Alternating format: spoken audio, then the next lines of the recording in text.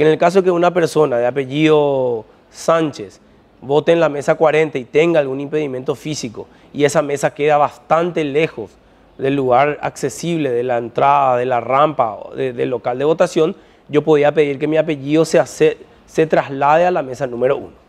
Entonces, como sabemos que nuestros locales de votación de repente no son tan accesibles e inclusivos, algunas mesas, por ejemplo, se encuentran en un primer piso o cerca de escalones. Entonces, si yo encontraba esa dificultad y tenía un impedimento para llegar a mi mesa, yo solicitaba a la justicia electoral a través de sus registros electorales para que mi nombre, que si votaba en la mesa 40, me trasladen a la mesa número 1, que esa mesa está ubicada en un lugar accesible, cerca de una rampa, entrada de estacionamiento, y por sobre todo tiene un cuarto oscuro y una mesa eh, diferente a las, demás, a, demás, a las demás mesas receptoras de votos. ¿Por qué? Porque tiene una mesa hecha de un material especial donde cabe perfectamente una persona con silla de ruedas y donde va a poder apoyar el brazo y marcar sus boletines.